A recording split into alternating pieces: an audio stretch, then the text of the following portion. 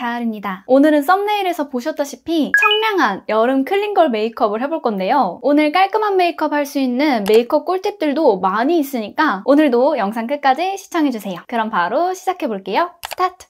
오늘 메이크업은 clean, 깔끔함이 정말 중요한데요. 여름에 피부가 가장 먼저 무너지잖아요? 피부가 깨끗해야 전체적인 메이크업이 깨끗해 보이거든요? 이제 바로 베이스 메이크업 해볼 건데 여기에 치트키템을 섞어서 사용해 볼 겁니다. 바로 지센달 세라믹 슬릭 15데이즈 리터닝 앰플 프로그램 이거를 매트한 파운데이션이랑 섞어서 사용하면 정말 깐달걀 피부를 만들 수 있거든요? 앰플 안에 스포이드로 두 방울 떨어뜨려 주시고 매트 파데와 함께 spatula로 섞어줍니다. 이렇게 바르면 매트 파운데이션이 지속력은 딱 잡아주면서 지센달 앰플이 들어가 모공을 딱 잡아주니까 더 매끈하고 깔끔한 피부 표현을 만들어주더라고요. 지금 반쪽만 발랐는데 벌써 느낌이 오죠? 혹시 앰플이 들어가서 끈적일까봐 걱정 절대 하시지 마시고요. 제형이 되게 가볍고 수분감 있는 제형이라서 여름에 사용하기 너무 좋아요. 저는 파데 바르기 전에 지센달 세럼을 먼저 발라줬는데 이게 앰플 세럼 말고도 크림도 있는데요. 앰플 세럼 크림 전부 모공과 주름 개선이 되는 3세대 spicule 제품이에요. 이 세 가지 다 사용하면 리프팅도 잘 되고 특히나 모공 개선이 진짜 잘 되는 것 같아요. spicule이 들어있어서 처음 바를 때 조금 따가운 느낌이 드는데 계속 바르다 보니 적응해서 별로 안 따갑게 느껴지더라고요. 요즘 spicule 제품이 정말 많이 나오는데 그중에서도 제가 이 지센달 제품을 추천하는 이유가 있거든요. spicule에 펩타이드를 붙인 특허 성분이 함유된 제품이라 펩타이드가 spicule을 통해서 피부 속까지 들어가 피부 속에 글루타 글 루타치온 효소와 만나 효능도 올라가고요. 펩타이드 흡수율이 무려 60배라고 해요. 특히 모공이 눈에 띄게 보이는 나비존 부분이 가장 효과가 잘 보이더라고요. 그리고 테스트해보면서 가장 중요한 게 효과도 있지만 제가 민감성 피부잖아요. 그래서 트러블이나 알레르기 등 안 나는지가 정말 중요했는데 민감성 피부 사용 적합 테스트를 완료한 제품이라서 그런지 지센달 제품은 그런 거 하나도 없어서 저처럼 예민한 피부에도 문제없이 사용할 수 있어요. 보이시나요? 앰플 섞어서 바른 피부, 안 바른 피부의 차이 이렇게 베이스하고 나갔는데 정말 피부 좋아 보인다는 이야기도 많이 들었고 이 예쁜 깐달걀 느낌이 밖에 나가서 더워도 해를 받아도 유지가 되는 게 너무 신기하더라고요. 이 앰플의 또 다른 사용법 저는 밖에 나갔다 오면 더 확실하게 진정 케어 열감 내리기를 해주고 싶어서 여름철 수분 진정 케어 루틴을 꼭 합니다. 앰플 단품으로 냉장고에 넣어서 차갑게 사용해도 열감 내릴 수 있는데 앰플이랑 알로에겔을 3대 3대 7로 섞어 냉장고에 차가워지게 5분 정도 넣어줍니다. 피부에 빈틈없이 두껍게 올려주시고 15분 뒤에 롤링해서 유효 성분을 잘 흡수시키고 미온수로 물 세안을 해주세요. 그러면 여름이라 달아올랐던 피부 열감도 내려가고 진정도 정말 잘 되더라고요. 피부 매끈해지는 건 덤입니다. 제가 night care로는 아까 보여드린 크림까지 같이 바르고 있는데 앰플 세럼 크림 요 순서대로 바르면서 제형도 살짝 보여드릴게요. 앰플은 아까 말씀드린 것처럼 가볍고 수분 수분감이 싹 들어있는 제품이에요. 물처럼 발려서 흡수도 금방 되더라고요. 세럼은 앰플에서 좀 더 점성이 있어서 좀 더 보습감이 느껴지는 타입이에요. 화장하기 전에 발라주기 괜찮은 제형이에요. 마지막으로 크림은 수분, 보습 다 잡은 제형이라 자기 전에 두툼하게 발라주면 일어났을 때 피부가 진짜 매끈해서 너무 좋더라고요. 자, 총정리를 해보자면 spicule 사용해보고 싶으셨는데 안 맞아서 사용 못하셨던 분들 모공, 주름 개선 한 번에 하고 싶으신 분들 원래 사용 중인데 더 높은 효과를 얻고 싶으신 분들은 앰플 세럼 크림 이렇게 같이 스킨케어 해주시면 너무 좋을 것 같고요. 앰플만 먼저 써봐도 되게 괜찮거든요? 제가 알려드린 방법으로 스킨케어 및 수분 진정 케어 루틴 파운데이션에 앰플 섞어서 이런 깐달걀 피부 만들어 보셔도 너무 좋을 것 같아요. 지금 베이스 메이크업을 완전 깨끗한 깐달걀 느낌으로 만들어 놨잖아요? 근데 다크서클이 있으면은 피부톤이 균일해 보이지 않겠죠? 깔끔해 보이지 않겠죠? 이 다크서클을 한번 가려보도록 하겠습니다. 루나 컨실 블렌더 팔레트 클리어 커버 핑크 컬러랑 두 번째 살색 컬러 사용해서 뚜껑에 조금 덜어주시고 아주 얇게 다크서클을 커버해줄게요. 이 루나 컨실러 팔레트 사용하실 때는 꼭 같이 이 루나 컨실러 브러쉬를 구매하시는 걸 추천드려요. 이게 진짜 사용하기 너무 쉽고 다크서클이 더 잘 가려지는 느낌이 들어요. 다른 브러쉬에 비해서. 이렇게 다크서클 가려줬고요. 또 한 부분 가려줘야 하는데요. 여기 눈썹 위에 전 눈썹이 좀 두 배로 자라는 편이라서 이쪽에 살짝 그림자진 부분까지만 터치를 해주고 가겠습니다.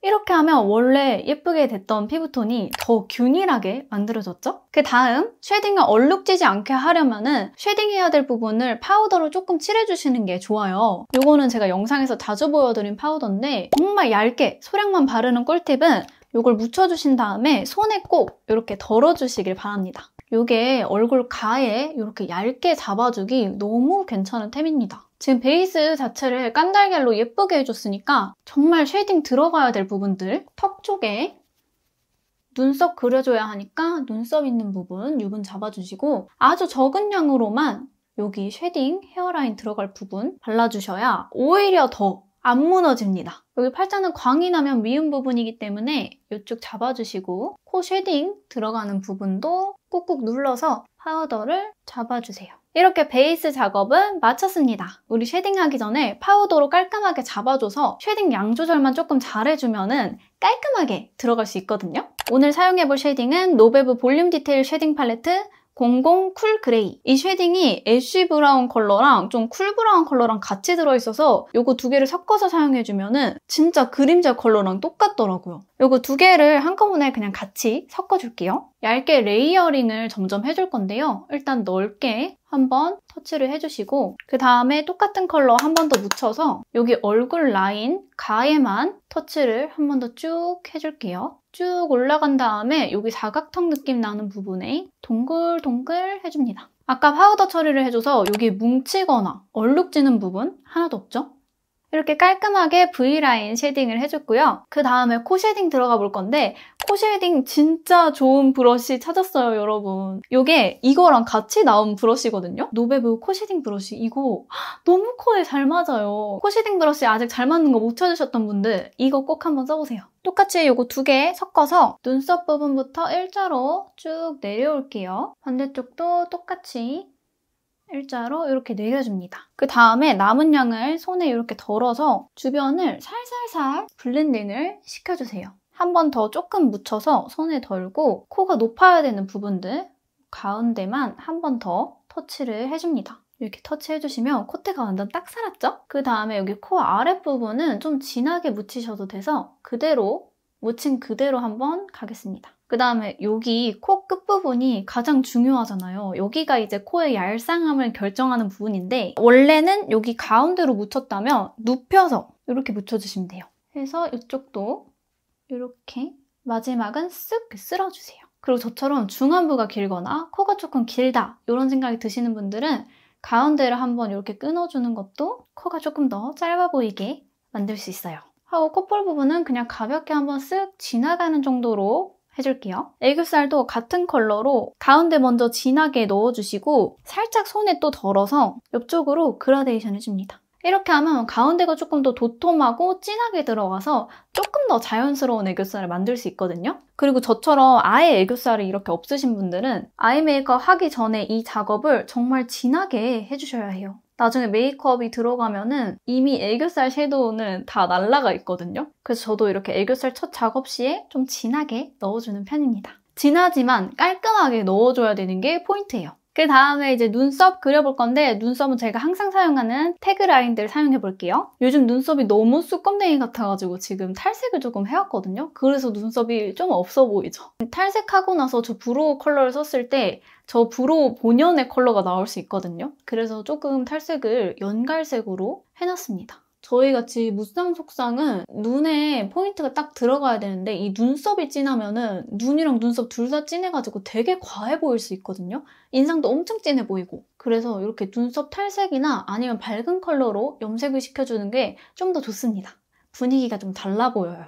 부드러운 느낌으로. 브로우는 원래 그리던 대로 똑같이 모양 잡아주시는데 이 꼬리 부분이 정말 정말 눈썹의 깔끔함을 결정하는 곳이라 샤프하고 날렵하게 빼주시는 게 관건입니다. 이렇게 그려주신 다음에 스크류 브러쉬로 한 번 더 펴줘서 연하게 만들어줄게요. 좀 더 자연스럽게. 브로우 카라도 이거 그대로 사용하면 눈썹에 엄청 뭉치고 안 예쁘게 컬러가 들어가거든요. 소량 이렇게 넓게 펴서 덜고 그 다음에 눈썹 거꾸로 빗어준 다음에 다시 원래 방향대로 빗어주시면 좀 더 깔끔하게 뭉치지 않고 눈썹 컬러만 싹 바꿔줄 수 있습니다.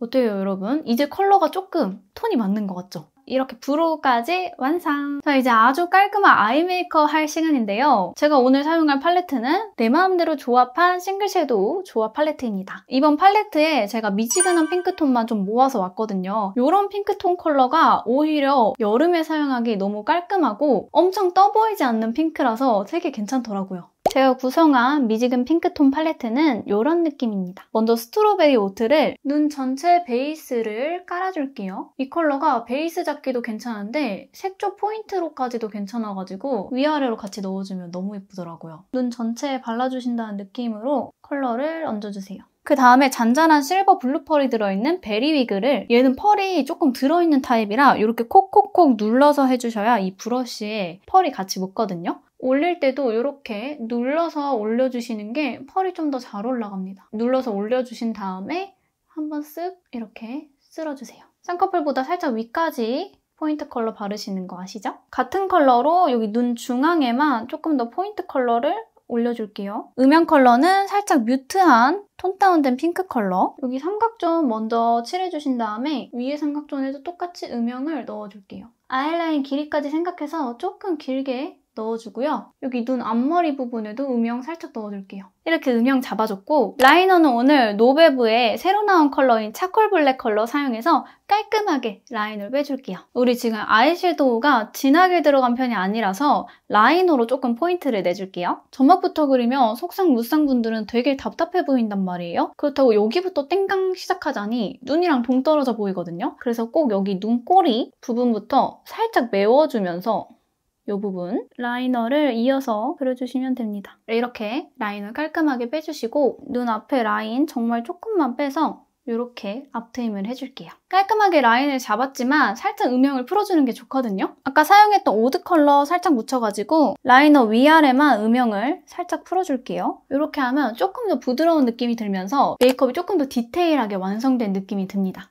그 다음에 이제 항상 하는 속눈썹을 붙여볼게요. 속눈썹은 제가 항상 잘 사용하는 이 더툴랩 붙여줄 건데 오늘은 10.5N 붙여보겠습니다. 속눈썹 양쪽으로 다 붙여주고 왔고요. 이제 마스카라 한번 해볼게요. 이미 속눈썹으로 강조를 해줬기 때문에 마스카라는 오늘 픽서 마스카라 clear 블랙 사용해줄게요. 속눈썹 깔끔하게 이렇게 쓱 쓸어서 쪽집게로 가닥가닥 하던 대로 잡아줄 건데요. 이 작업을 안 하고 냅두면 속눈썹이 되게 지저분하거든요.